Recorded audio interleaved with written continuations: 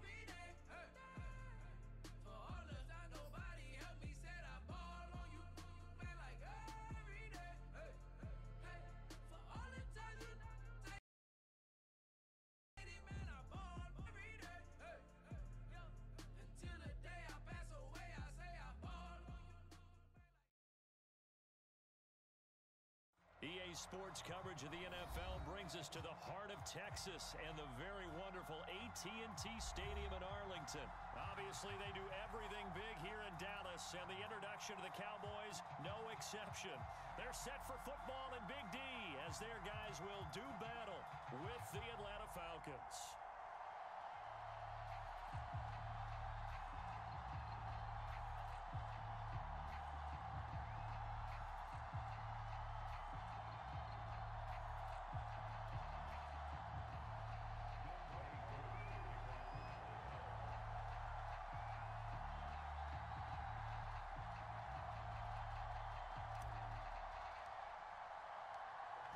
Set to go, Young Wei Koo ready to do the honors. And we are underway from AT&T Stadium.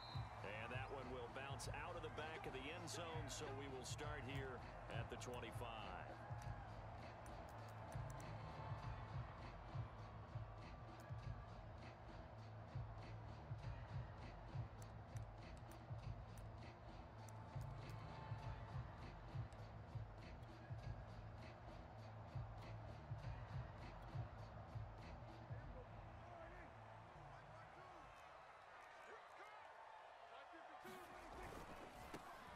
Here's the first carry for Ezekiel Elliott.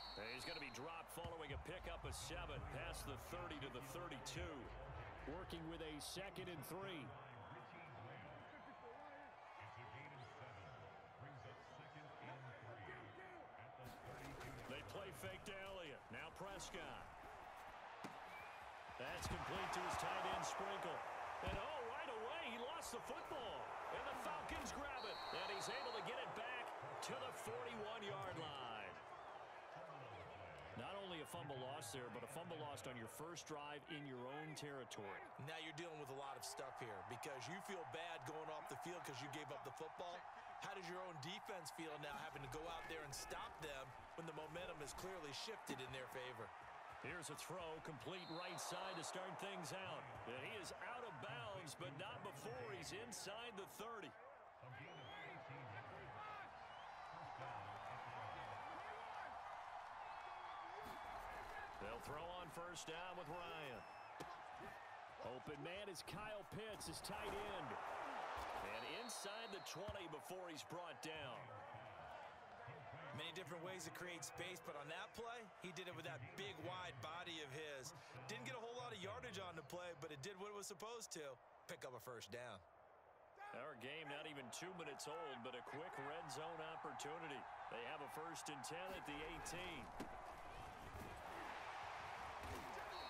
And he gets it down close to the 10-yard line.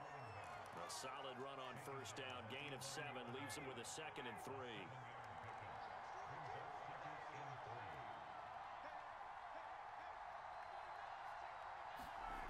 Now it's Ryan.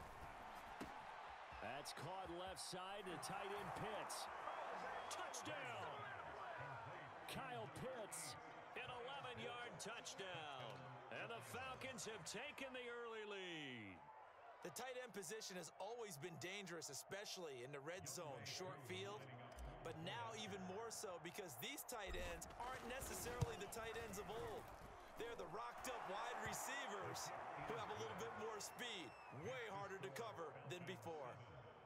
Extra point by Koo, up and good. And that makes the score 7-0 touchdown, here's Koo to kick off. And that one will bounce out of the back of the end zone, so we will start here at the 25.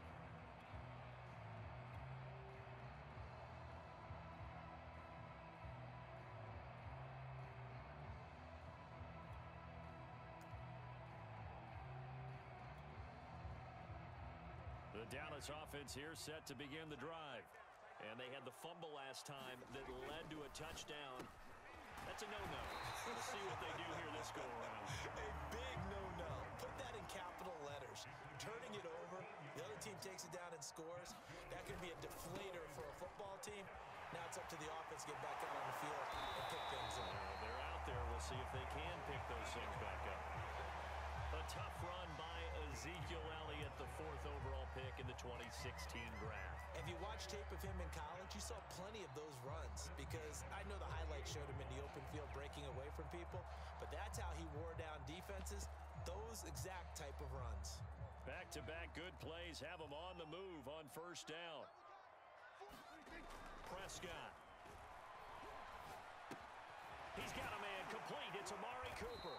And he gets this inside the 35-yard line. So they'll come up first and 10 now from the 33. Prescott to throw it. Flushed out right. And he'll just get rid of it. Different pass rushes are designed for different things. Sometimes you want to keep the quarterback in the pocket. Sometimes you want him to flush. I don't know exactly how this one was designed, but they made sure they moved him to his right. He got out of the pocket. Unfortunately for him, he was hit as he tried to throw the ball, and that resulted in an incompletion.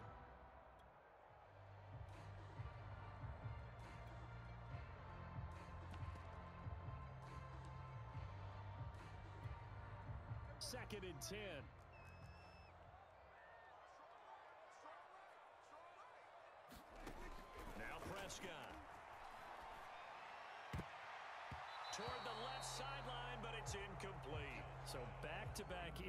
-back incompletions.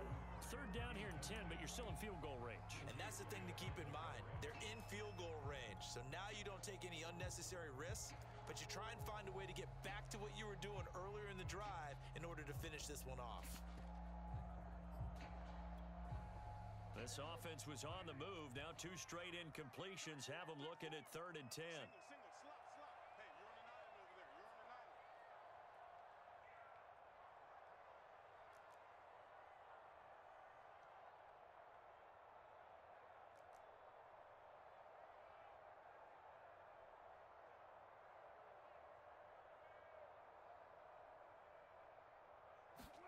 Off the play fake, Prescott. Being chased out left. And he wisely will throw that one away. There's nothing like pressure to affect the accuracy and the timing of a guy trying to throw the football. And on that play, they ended up flushing him to his left, contacted him as he's trying to throw the football, and that led to the incompletion. The three straight incompletions, they don't care. That hasn't dissuaded them. They're going to go for it on fourth. Prescott now. Got an open man. It's Michael Gallup. Touchdown, Cowboys. Michael Gallup, 33 yards. And the Cowboys are an extra point away from tying the football game. Now Greg Zuerlein on for the extra point. Oh, and now they're going to fake it. It's caught inside the five. And he will get into the end zone to extend the lead by two more. That's something you almost never see nowadays. When you fake it, you're at the 15-yard line on a PAT as opposed to just going for it from the two. I'm sorry. I know they got it, and congratulations to them, but it's just not a good play. I mean, the, the risk-reward is really off the charts. Not in your favor. Run your offense out there. Put it on the two-yard line if you want to go for two. But I'll be darned. They ended up getting that one, didn't they?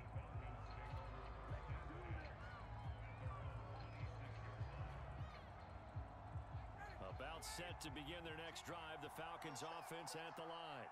And they're hoping to redo their efforts in the last drive when they got into the end zone. And just think of what it's like now on the sideline because when you score a touchdown, you have to go over and look at the tablet and see what you did on the last drive. When you scored points, it's a whole lot better view than when you're trying to figure out how to fix things there. A big hitter to start the drive has him up near midfield here for first and 10. Ryan. Calvin Ridley. And he's corralled, but not before getting it inside the 35. Back-to-back -back good plays have him on the move on first down. To throw is Ryan. Going right side here, and that's complete. And he doesn't quite make it, taking it within an eyelash. Dropped at the one.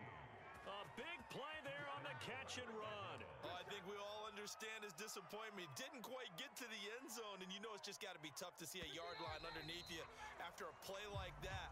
Still, all in all, a huge play, and now they're set up first and goal at the one.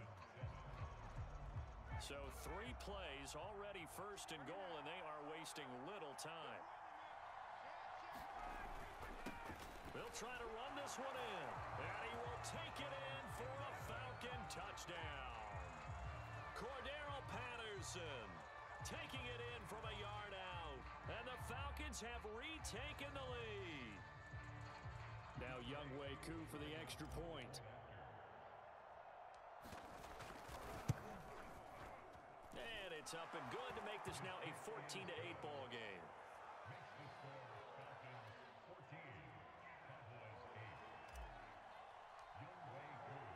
Following the touchdown, here's Koo to kick off. This taken in at the goal line. And he'll be tackled just shy of the 25.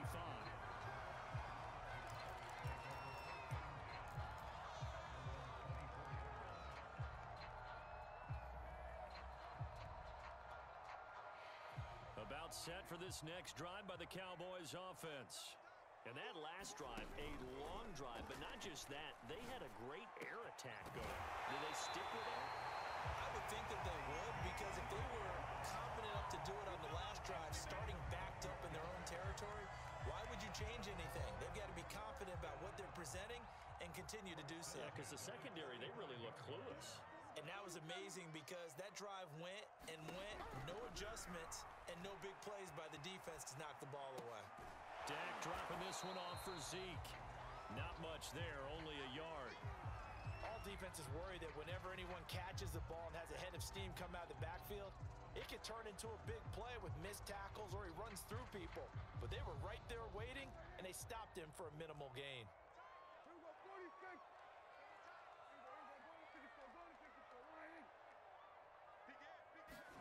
Looking to throw again on second down.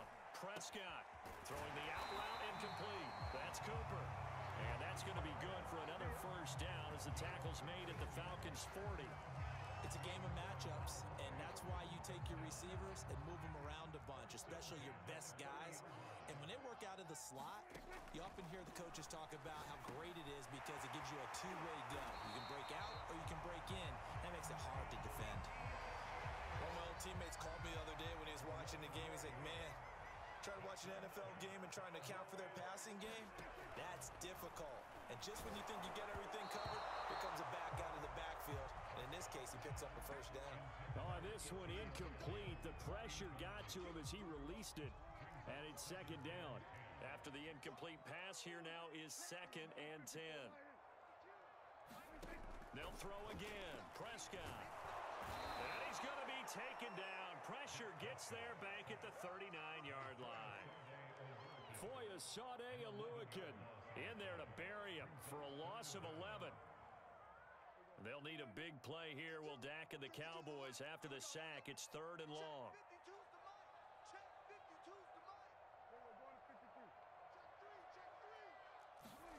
Play fake. Here's Prescott. And they're going to be set up down around the 15-yard we've hit the two-minute mark in this first half of action.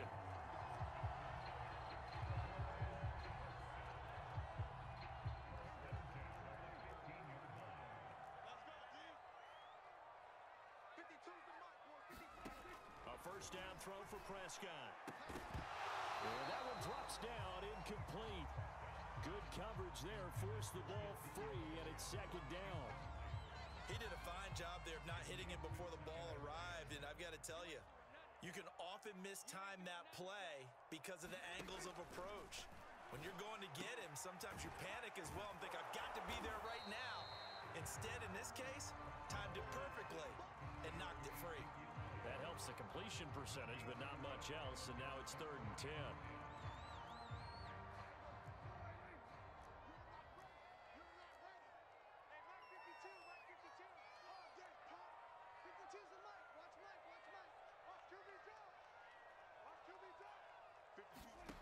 Prescott yet again.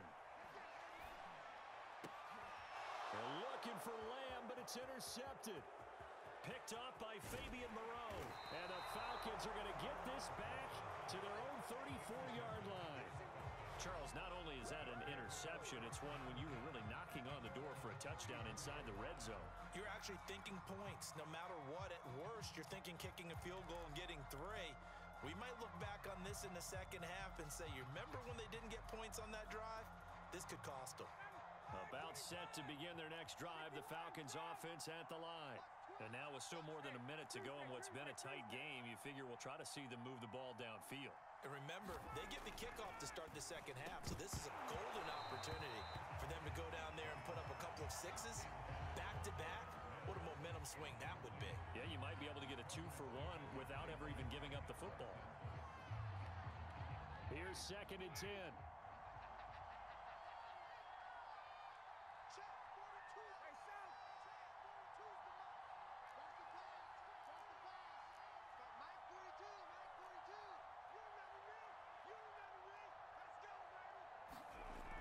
Ryan. And he comes back with one complete. Now the Falcons going to use one of their timeouts. It's just their first, so they'll have two remaining here before we get to halftime.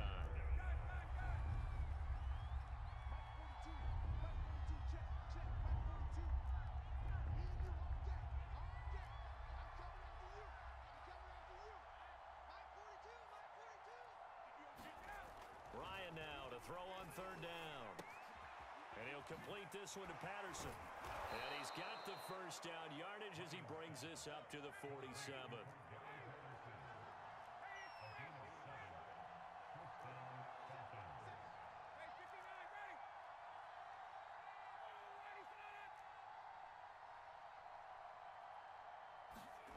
Throwing again, Ryan. And he will go down. A Cowboy sack. The Falcons going to use the second of their timeouts as the clock will stop with 33 seconds to go in the first half. Coming up now on a second and 15 following that sack.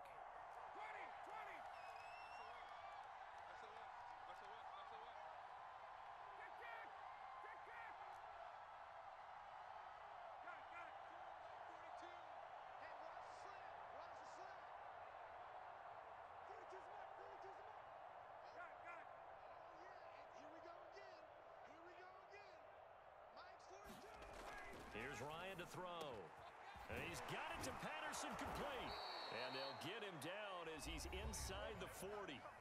Falcons going to use their third and final timeout as they'll stop it with 27 seconds remaining here in the second quarter.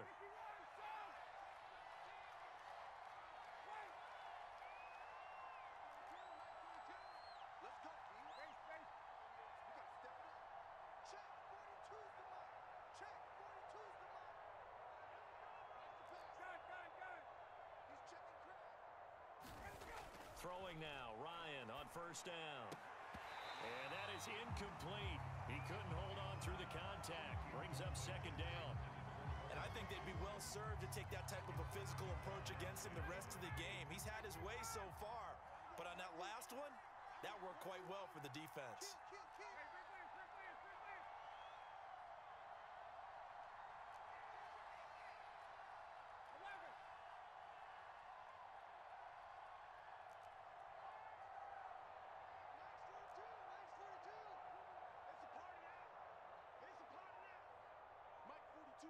Mike 42, check, check.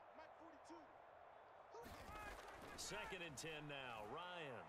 He'll rifle this one deep right side. And it's a leaping effort, but it's knocked away and incomplete. He certainly had a good game throwing the ball so far, but I think he was trying to take that from good to great with that throw, trying to get one downfield.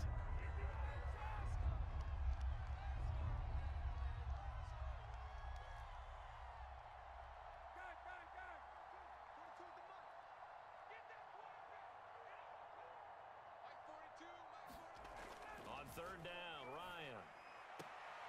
Toward the sideline. Did he keep the feet in? Yes, he got them both down, says the side judge. And that's good enough for a first down.